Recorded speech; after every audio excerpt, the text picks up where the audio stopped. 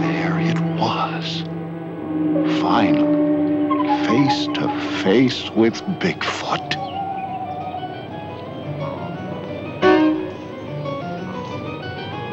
Here was the domed head, just as others had described it. The thick, dark fur to protect it from extremes of weather and allow it to pass unnoticed in the night. I saw it, photographed it.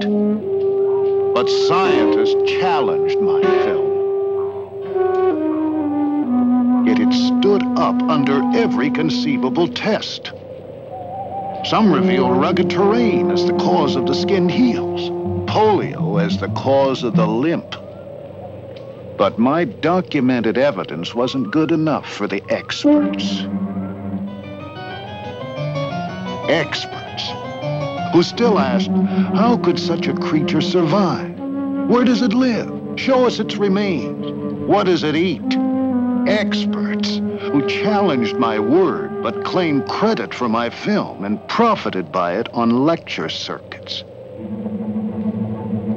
Well, I didn't care for these people. But I was haunted by their questions.